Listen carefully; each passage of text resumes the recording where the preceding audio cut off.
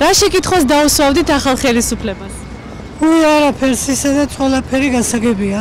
და რა არის თქვენთვის გასაგები? აი ყველაფერი გასაგებია. რა არის გასაგები? აი რასაც საკეთები ყველაფერი გასაგებია. ანუ პრობლემები არ გვაქვს? არა, პრობლემები გვაქვს, მაგრამ გონია რომ თან რა შეკითხვა არ გაქვს? არა. შეკითხვის რა აზრი აქვს, როცა პასუხს ვერ მიიღებ. როდის დამყარდება სამართლიანობა ქვეყანაში? აი რაც ჯერჯერობით არაფერი გაუკეთებიათ, ეცადონ რომ ცოტა ხალხი ხარი რომ დაუჭირა ხალხმა კმაყოფილი დარჩნენ. შეკითხვა ჯერჯერობით არ მაქვს, იმიტომ რომ ვაცდი. და მე ვფიქრობ, რომ კარგს იზავენ ამ ქვეყნისთვის. ჯერჯერობით რო არ მაქვს კითხები. ანუ ყველაფერი გაწყობთ რა? ორი თვის მერე მკითხეთ და დაუსვამეთ. დასაქმების პრობლემის გადაწყვეტის რეალური გეგმის ზეა ყველაზე მეგონი ძირითადი აქცენტი რა. აი როდის მეტნაკლებად ეშველება ამ პრობლემას. როდის დაიწყებს რაღაცის გაკეთებას, ფონი მაინც უნდა შექმნას ისეთი, რომ რაღაცა კეთდება ხალხისთვის, ხო? დღეს არ არის ეს ფონი, როგორ ფიქრობ? რა ვიცი, დღეს ფონი მოსახლეობაში და როგორც საზოგადოებაში მე მგონი არ არის, არ ჩანს ისეთი ფონი, რომ რაღაცა მკვეთრი რაღაცა, რომ ისეთი მოლოდინი იყოს. რა შეკითხვას დაუსვავდით ახალ ხელისუფლებას?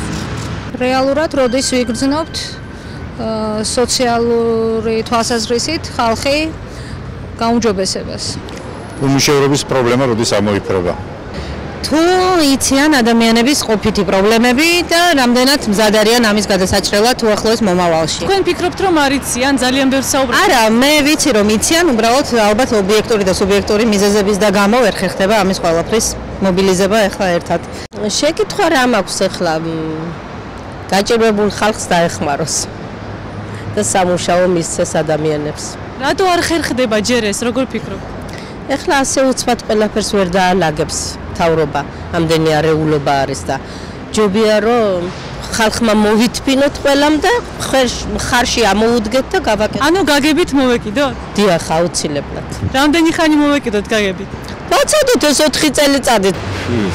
თამაშობენ რა, თამაშობენ არაფერს არაკეთებენ საქმე ჯერჯერობით, მე ესე მგონია რა. როდის შევიგრძნობთ რეალურ ცვლილებებს? რატომ არ ვგრძნობთ ამას, როგორ ფიქრობ? იმიტომ რომ ეკონომიური მდგომარეობა არ უმჯობესდება. ძალიან ბევრი შეკითხვა ერთ-ერთი რო დაგვისა. რა ვიცი რა, რავი, გადასახადები რომ მოაგვარონ. დაუკლონ ცოტა ტარიფებს, სხვას არაფერს. როდის გაწყნარდება ეს ქვეყანა და როდის დამშვიდებით? როდის დავადგებით? რაღაც გამართულ ცხოვრების გზას. თუ გვექნება ნორმალური ცხოვრება ან ჩვენ ბავშვებს.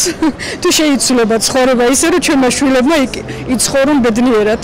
რა შეკითხვას დაუსვავდით ახალ ხელისუფლებას ახალ ხელისუფლებას თუ შეასრულებენ ყველაფერ დანაპირებს.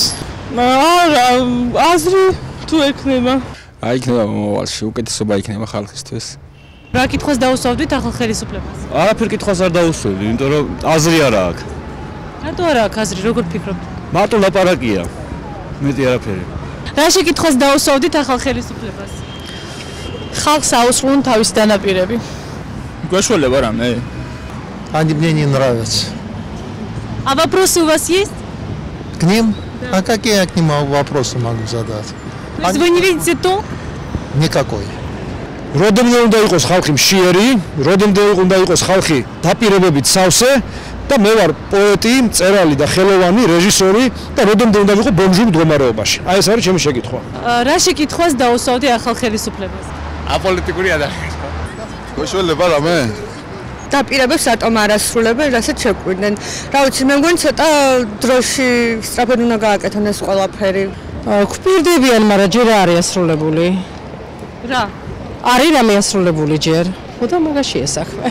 კვალიფიკაციური კადრებით თუ მოხდება დაკომპლექტება სამართალდაცვის სისტემის. მე თვითონ პედაგოგი ვარ და თუ იზრუნებენ იმაზე, რომ აი თქვა პედაგოგების მდგომარეობა უფრო გაუმჯობესდეს. აი რა დავკარგეთ ქართველებმა? ეს არის თქვენში. რა დავკარგეთ? სიყვარული დავკარგეთ, ვერჩი დგომა დავკარგეთ. და უზნეები გავხდით, ნეობა დავკარგეთ. და აი ეს პატივცემული ministrები და პარლამენტარები ხელფასო ღებულობენ იმდენს. იმათ ცოტა ზნეობრებას მიხედონ და 125 მანეთს მოაძლევენ, ლას მოაძლევენ პენსიას. და გაჭირ ადამიანებს თვითონ იმათ მოიკლონ და ამ გაჭირულ ხას მისენ და მე და ძნობასო დაუბრუნდებიან ყველაფერი დაალაგდება ძალიან კარგად